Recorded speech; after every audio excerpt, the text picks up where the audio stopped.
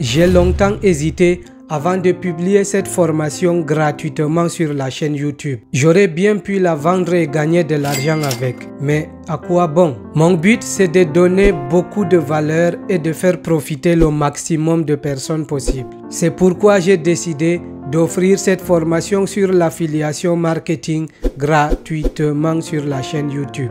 Dans cette vidéo, je vais vous montrer de A à Z comment choisir un bon produit d'affiliation à promouvoir, comment configurer un bon tunnel de vente comme un pro, comment automatiser les séquences email et toute la campagne d'email marketing et enfin comment faire la promotion de ce produit à la fois avec du trafic gratuit mais aussi avec de la publicité. Et oui, on va faire comme des pros et investir de l'argent dans cette formation sur l'affiliation marketing pour vous donner tous les outils nécessaires et toutes les compétences dont vous avez besoin pour commencer et réussir dans l'affiliation marketing et naturellement gagner beaucoup d'argent. Pour m'encourager à créer de plus en plus de contenu de qualité comme cette formation sur l'affiliation, encouragez-moi en likant cette vidéo et en vous abonnant à la chaîne si ce n'est pas encore fait. Ça ne vous coûte absolument rien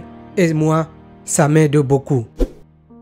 Première étape, on va chercher notre niche. Si on est dans une bonne niche, on peut faire de bons chiffres. Alors pour commencer, on peut soit aller sur Google Trends pour voir les tendances. Quand vous allez sur cette adresse trends.google.com, vous pouvez changer le pays parce que ici moi on me montre premièrement les tendances dans mon pays mais je veux cibler les tendances dans les pays où les gens achètent beaucoup plus en ligne et parmi ces pays il y a les États-Unis donc si quelque chose est tendance aux Ça peut marcher en affiliation. On peut alors, une fois on a sélectionné les États-Unis, on peut voir les tendances récentes, mais c'est un peu compliqué. Ou bien on peut cliquer ici et chercher recherche du moment. Ça aussi, ça peut nous permettre de trouver des tendances. Vous savez, vous voyez, il y a par exemple beaucoup de noms de célébrités et autres qui sont tendances. Si Google Trends ne marche pas pour vous, il y a un autre site web qui s'appelle Exploding Exploding Topics montre les tendances de recherche sur plusieurs thématiques. Il y a une version pro, mais aussi il y a une version gratuite. Et quand on arrive sur Exploding Topics, on peut par exemple trier nos recherches ou bien en termes de temps, les tendances ou bien euh, rechercher si on a une idée de niche en tête. On peut d'abord défiler pour essayer de voir certains sujets comme par exemple Preply connaît 1900% de hausse en termes de recherche de tendance. Vous voyez que c'est un site de tutoring en langue étrangère. C'est pas ce qui nous intéresse. Il y a aussi Find Ops ici. On peut cliquer si on veut parce que quand vous voyez c'est 3233%. Mais il y a ici quand on clique on peut aussi voir le volume de recherche aux États-Unis. Donc 2000 recherches par, par mois, je trouve que c'est un peu bas on peut revenir en arrière. En parcourant, on peut trouver des sujets intéressants. Il y a aussi TikTok Ads qui, qui a connu 99 fois, plus de 99 fois de taux de recherche. Il y a plus de 22 000 volumes de recherche. On descend, on descend. Il y a beaucoup, beaucoup de, sujets intéressants. Vous voyez, on peut voir ici par exemple collagène gommis, plus de 1000% de taux.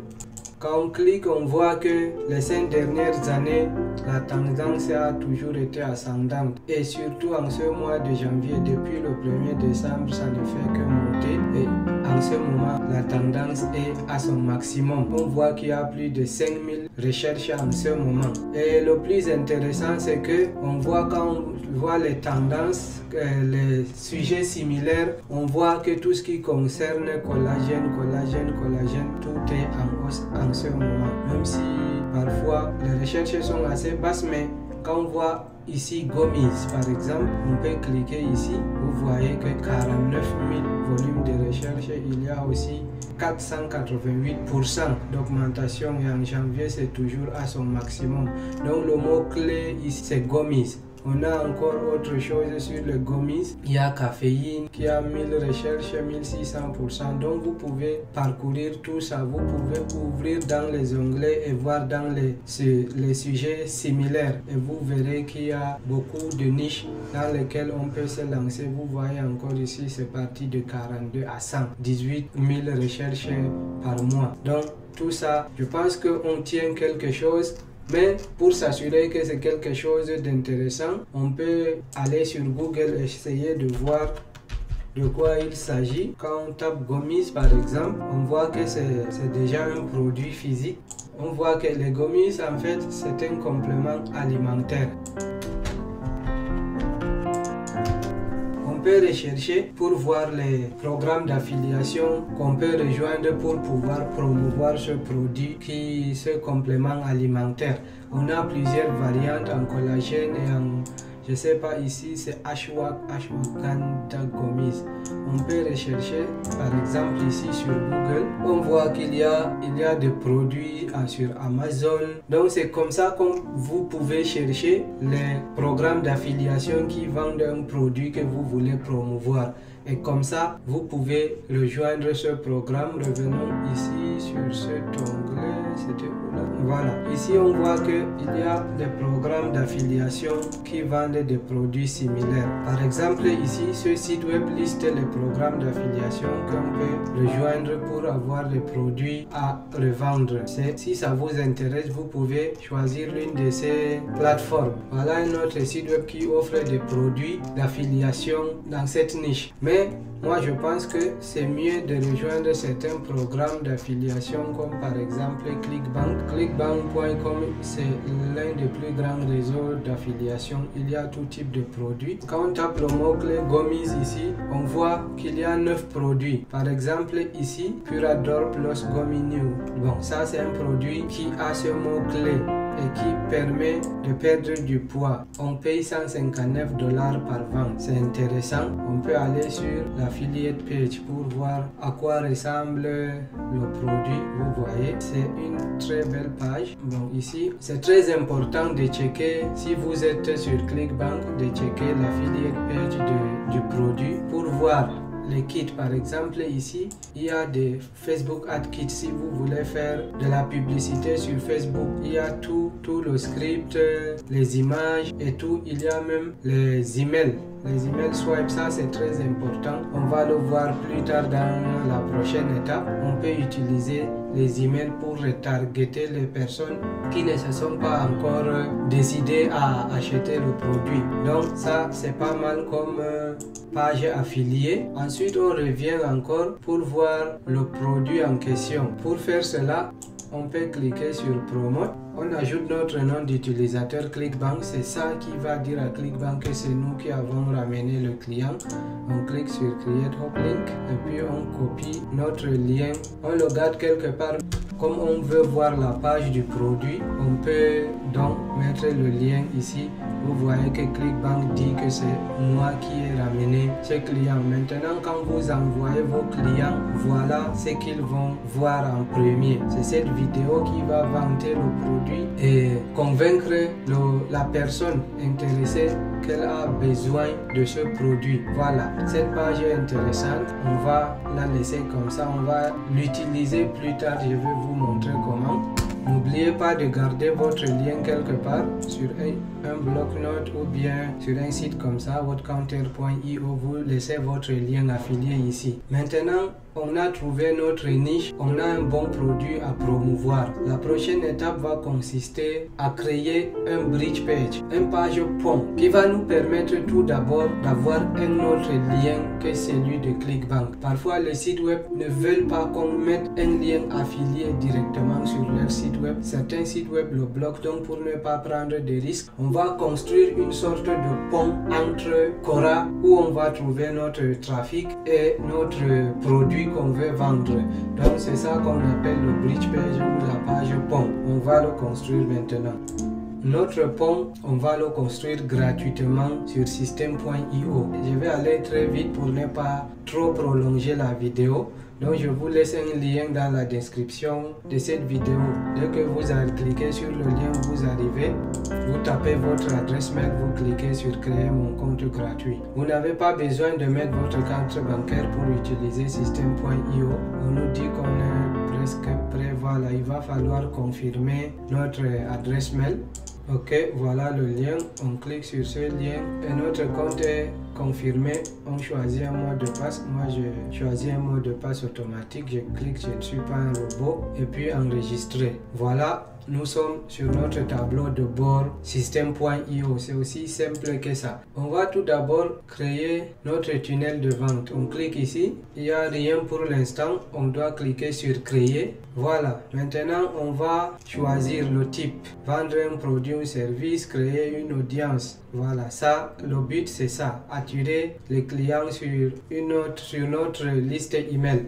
Le but ici, c'est de collecter l'email avant que la personne arrive sur la page produit. Comme ça, si elle ne, si elle n'achète pas, on va lui envoyer des emails plus tard pour lui dire, pour lui rappeler qu'il n'a pas acheté le produit ou bien les autres avantages du produit qu'il est en train de manquer. Donc, on clique sur Create une audience. On va nommer cette audience. On va peut-être dire Gomis. Et puis, on clique sur sauvegarder. Notre tunnel a été créé. Maintenant, on doit le customiser. On clique dessus et puis c'est la page de capture que nous voulons. On va faire une page similaire à celle-là. Le but, c'est de faire penser au client qu'il est sur le même site web. Donc ici, sur cette page, la première des choses à faire, c'est que on n'a pas besoin de page de remerciement. On va renvoyer la personne vers l'autre lien, on peut supprimer cette page. Il nous reste juste notre page de capture. Maintenant, on peut sélectionner n'importe lequel parmi ces templates. On clique sur sélectionner. On peut nommer cette page Gomis page de capture. On laisse le reste comme tel.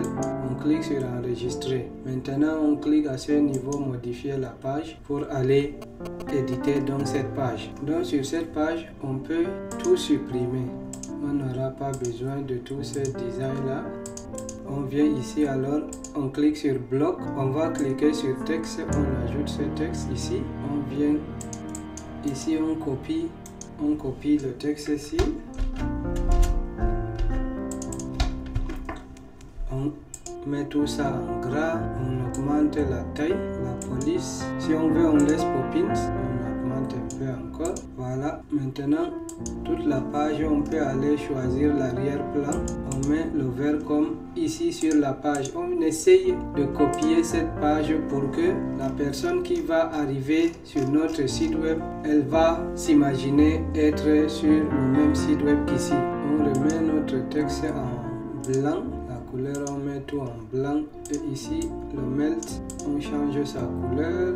Un voilà c'est quelque chose comme ça on essaye tant bien que mal de matcher voilà disons que c'est comme ça.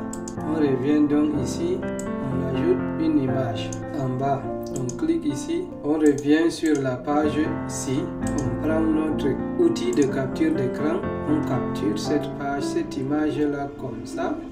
On l'enregistre sur notre ordinateur on revient sur notre page ici on clique sur uploader un fichier dans image on prend notre image ici on vient le glisser ici. On choisit cette image on l'insère. Elle est là. La taille on réduit un peu pour changer la couleur. Pour mettre tout le fond en vert on met paramètres. On vient ici couleur d'arrière plan. Quand on réduit ici on voit qu'on a notre page qui est pas exactement comme ça mais pas loin de cette page. Alors que ici ils ont une vidéo nous on a une image. Quand la personne va cliquer ici on va assigner une action ici. On va rediriger vers un pop-up. Et puis on va créer notre pop-up.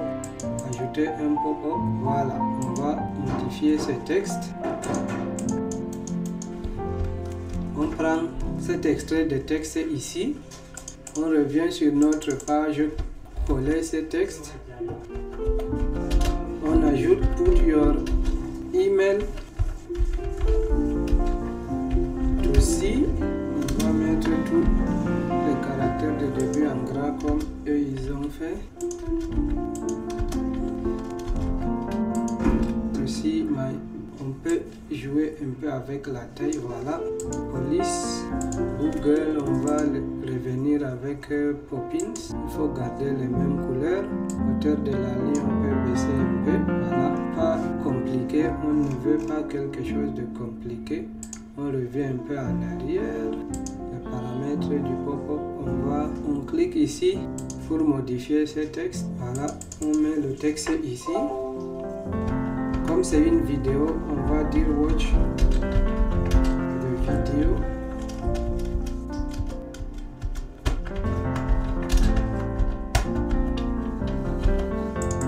On n'a pas besoin de sous-titres. Voilà, couleur du bouton, on va mettre même couleur que notre, notre page. Depuis là, on n'a rien enregistré. N'oubliez pas d'enregistrer votre page. Il faut aussi modifier ça puisque nos visiteurs seront la plupart anglo-saxons. Donc, on va modifier tout. Tu détestes les spams. Nous aussi, ça veut dire qu'on va pas les spammer. Donc, on laisse ici couleur du texte, on laisse police, police, même police, voilà. On laisse comme ça, mais on peut mettre ça en gras.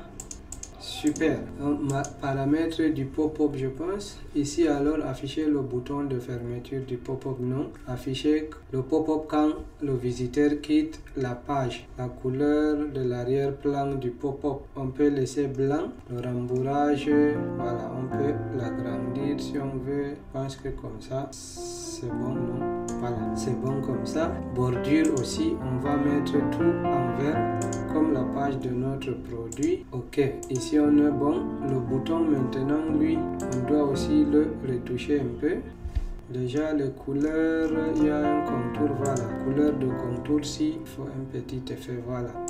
Ça, on est bon, mais pas totalement. On ici, maintenant en haut à ce niveau. Puisque quand quelqu'un met son email, on enregistre son contact et puis on le redirige vers une, une URL personnalisée. C'est ici qu'on va copier et coller notre lien affilié. On revient sur notre page, prendre notre lien, on le met ici, on met sur coller. Je pense qu'on est bon. On peut enregistrer sur maintenant. Voilà, pop-up numéro 1. On peut l'activer pour voir s'il donne bien. Ok, maintenant paramètres de la page. Je pense que tout est bon. Il reste seulement à créer une liste dans laquelle on va mettre l'adresse mail pour pouvoir plus tard euh, traquer. Voilà, l'image quand on le clique, le diriger vers une page, on va dire ouvrir pop-up. Voilà, choisir pop-up, pop-up numéro 1. C'est les paramètres qu'il nous reste à faire. Maintenant, quand quelqu'un clique l'image, on ouvre le pop-up et puis il sera obligé de mettre son adresse mail pour, pour pouvoir regarder la vidéo. On peut prévisualiser tout ça pour voir ce que ça donne. bon, ça, le pop-up est venu automatiquement. Voilà, c'est toujours important de vérifier si on a bien fait on taper quelque chose avec un page pour voir si on clique, est-ce que ça nous renvoie vers notre... Ah ok, on n'a pas mis...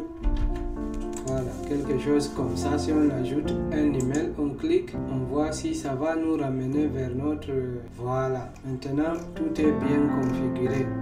Vous voyez que la personne, dès qu'elle arrive, il y a notre nom d'utilisateur ClickBank et la personne peut commencer à acheter ce produit. Il peut voir la vidéo ou bien s'il décide d'acheter le produit directement, tant mieux. Ici tout est OK. Donc on revient paramétrer notre pop-up. Il y a, il a un petit problème. Paramètre du pop-up. Donc on enlève l'affichage automatique mais on laisse quand quelqu'un veut quitter la page. Je pense que ici c'est bon. Il nous reste seulement de configurer le formulaire. Ici alors ce qu'on veut collecter c'est les emails. Mais où on doit les stocker? On peut voir notre page en version mobile également si on le souhaite. On voit que ça peut aller. Ouais, sans le pop-up voilà comment ça se présente aussi voilà on revient sur la page web on cherche notre pop-up ok champ de formulaire je pense qu'on est bon avec notre page, on clique sur enregistrer. On revient encore voir notre page. Maintenant, vous voyez que le pop-up automatique ne s'est pas affiché, mais quand on clique ici, il s'affiche. On peut ajouter notre mail.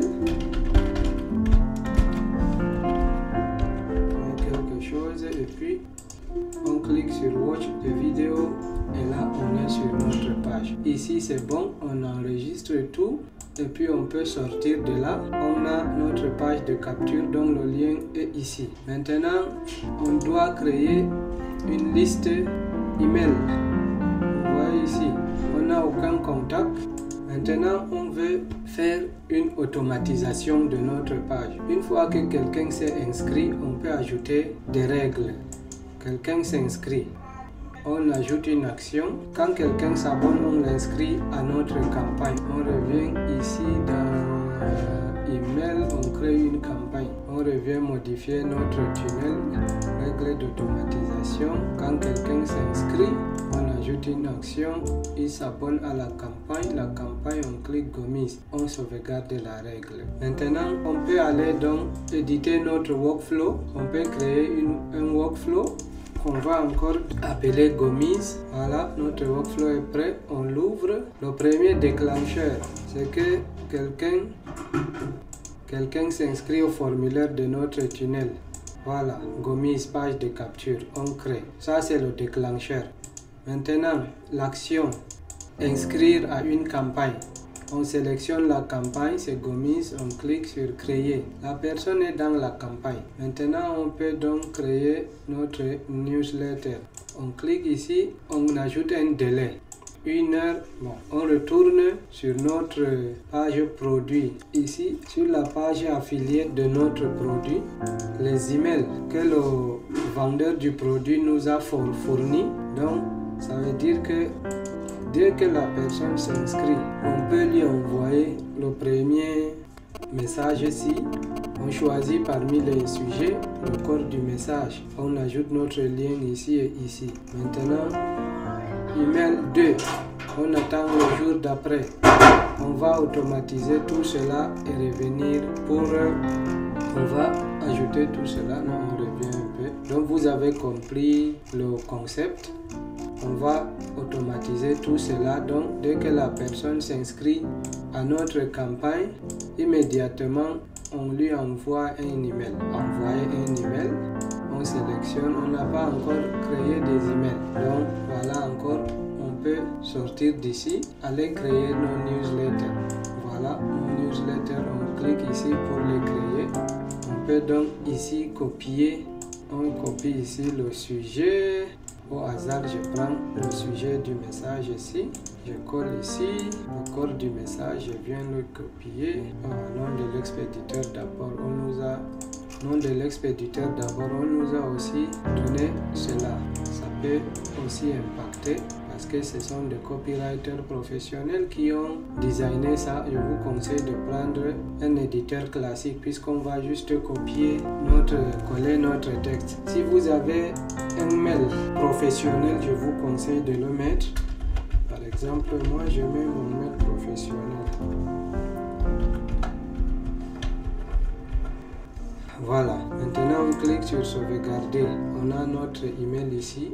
On peut ici l'éditer pour coller notre message. Corps de l'email ici. On vient alors copier le corps du message. On copie. On vient coller ici. Voilà. Ici, là où c'est en bleu, on va changer l'URL. Ici, on peut directement mettre notre lien affilié puisque la personne est déjà dans notre boîte mail. Ici, c'est bon. Cible indéfinie, voilà. On clique sur OK. On revient encore ici, on clique. Lien affilié, on clique sur OK.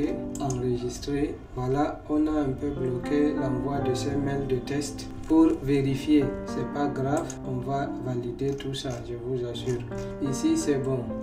On dit enregistrer préparer l'envoi si on veut, mais voilà.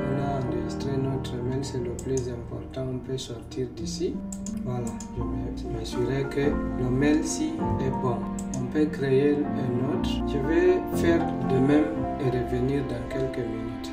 Comme tu as bien pu le constater, cette vidéo serait trop trop longue si on couvrait toutes les étapes dans une seule et même vidéo. Voilà pourquoi j'ai disséqué cette vidéo en trois parties. Dans la première partie, tu viens de voir comment choisir un bon produit à promouvoir, comment configurer ton tunnel de vente et les séquences email. Dans la deuxième partie, tu verras comment promouvoir ce produit avec du trafic gratuit. Et dans la troisième partie, on va investir de l'argent dans la publicité pour toucher le maximum de personnes et réaliser beaucoup plus de ventes. Abonne-toi pour ne pas louper la suite. Salut